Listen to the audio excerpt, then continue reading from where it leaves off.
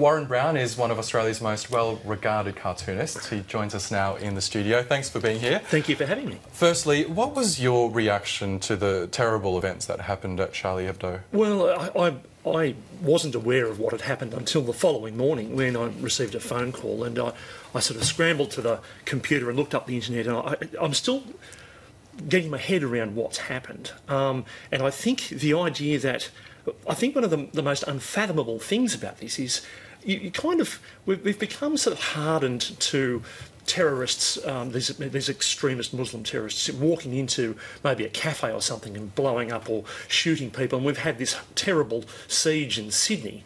Um, when you know somebody just wanders in there and starts espousing rhetoric, and then there's gunfire, and you think, yeah, you know, what was that all about? But we've, we've found a focus here, and that's the interesting thing that it's actually, you know, these people have gone in because they are offended by by cartoons of all things, and cartoons are fun. They're, you know, they certainly they tread on the toes of people at times, but to me, that's, and I think to everybody, it's the uh, cartoonists. Why would that be? And I, I, it hasn't frightened me at all as a cartoonist, but um, I'm sort of in disbelief that, that that cartooning and satire, which is such a wonderful aspect of of, of, human life, of civilised life, and I guess that's the thing, that has the word civil in it, and these people just aren't civil, that that should come under attack in such a way. Australia also has a proud tradition of cartooning, but do we in Australia push the boundaries in the same way as the artists at Charlie Hebdo were doing? Oh, that's a great question, and uh, certainly, I mean, all cartoon we do. We do. We've had a, a fab, we have a fabulous tradition of cartooning, and it's probably there's a golden age that never seems to stop in Australia.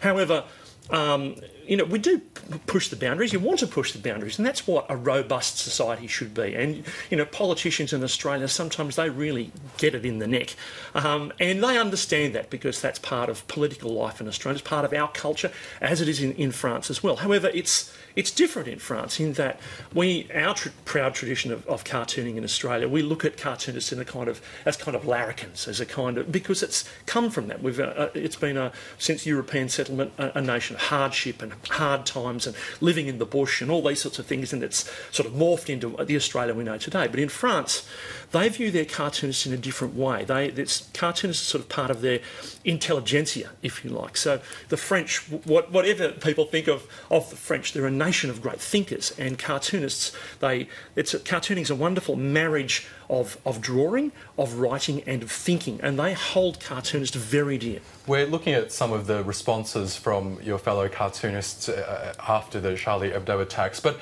uh, the Prime Minister Tony Abbott, uh, in light of these attacks, have encouraged media outlets as well as cartoonists uh, not to self-censor, to continue uh, being open and to, to foster that freedom of speech. Now, in Australia, you mentioned that uh, politicians are often the subject of mm. your cartoons. Yes. Will this attack change your uh, uh, thinking or your work in any way? I think it will harden our resolve as a collective of cartoonists. And we've seen this, this amazing sort of galvanising of, of cartoonists around the world. And I, I've seen cartoons uh, appear on publications I've never heard of from you know the four corners of the globe. And it doesn't matter whether you can read the caption or not. If you don't can't read Spanish or German or Icelandic, you get it. And that's mm. the thing about cartoons. You you see the image, I understand it, and it's so powerful. So, uh, for example, I, I wouldn't I would never vilify uh, Islam ever. However, uh, ISIL, all the, the, the dreadful things that, that, that are attached to it at the moment, that really I think the Islamic community needs to get a handle on this and do something, be proactive about it and say, really come out and say, these people are destroying our religion, we want nothing to do with it. I think from my perspective as a cartoonist, I'm watching, there's a lot of deck chair shuffling around the place. Um, but I, I, I think that time, this, this will be a game changer, I think, what's happened in France. Tell us, can you recall an Australian cartoon which had a real impact and prompted people here to question freedom of expression? Um, look, we've had plenty of times when, uh, over the years, and I certainly um, had Patrick Cook on earlier uh, this morning, and of course Patrick was was probably the, uh, the only cartoonist I know of who was actually taken to court over a cartoon, uh, and it was it ended up being laughed out of court, and as a result, people that was, that was the Harry Seidler cartoon right. that was yeah. Uh, you know it was a fa- fabulous cartoon, um, and uh, I had Harry Seidler in one of his building projects. It looked like a sort of backyard incinerator, and, and you know there's elderly people in it being fed at the one end, and then you know a little tray at the bottom out the other. And he was taken to court, and I think it was worrying because that was being seen as a sort of a watershed for you know where where you can and can't go with cartooning. As I said, it was laughed out of court really, and so that's sent you know sent to the rest of the cartooning world. Well, you know, you need to be responsible, of course, but but you know, freedom of of, of of publication is there. I mean, we don't actually have the freedom of the press in Australia as people like to think, but it's you know you take a measured approach and you know uh, you, you, know what you can and can't do with it. But um, as far as a cartoon that has actually knocked every every cartoonist I think in a metropolitan newspaper has drawn a cartoon that's gone uh, out, out, of bounds sort of thing. And uh, you've had people writing and certainly threats. I've had death threats and all sorts of things over the years. But you know, you know, we're all sensible and we, we know where it can go and where you can't.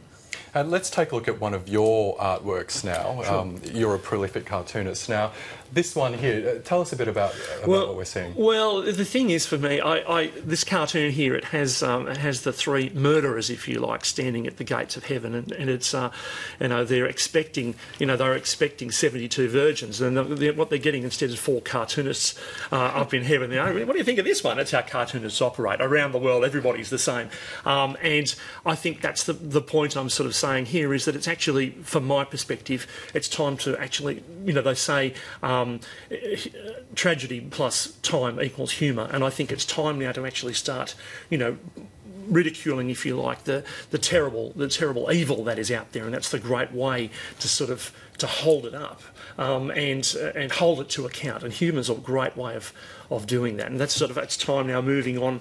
Um, certainly, we've seen some beautiful cartoons from all over the world, um, and of course, the symbol that we're seeing now is the pencil. Mm. Um, people holding up a pencil, and that's a, a wonderful message because a pencil it's a it's a beautiful thing, and that's it's the first thing that a child draws with, and it, and it's a symbol uh, of as the Cathy Wilcox cartoon here is, is, suggests, which um, is uh, and, and, shows exactly the point that you were making. Yeah, well, and also, I mean, not only is it just that from what children learn to draw with, it's a symbol of of expression and of creativity, of not only drawing but writing. Um, and it's a really simple thing. And I, I, whoever came up with the idea of, of, of using it as a, as a, a, a symbol of strength for cartooning and creativity more so. I think it's a wonderful thing.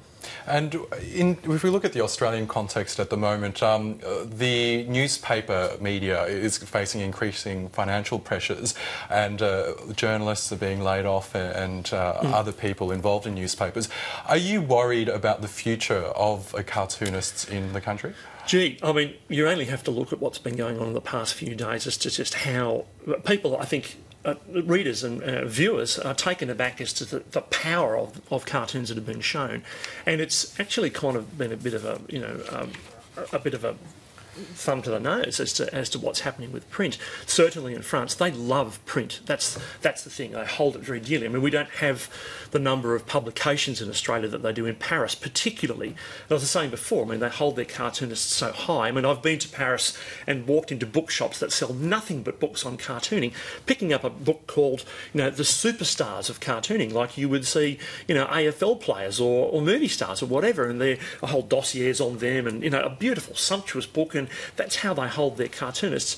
Um, I think the medium certainly, I mean, there's a there's an argument that, that print is is presumably on the way out, but um, I I think there's a role for the, for print to do things that um, that electronic media can't do, um, and certainly in Europe, uh, you see that that newspapers are very strong.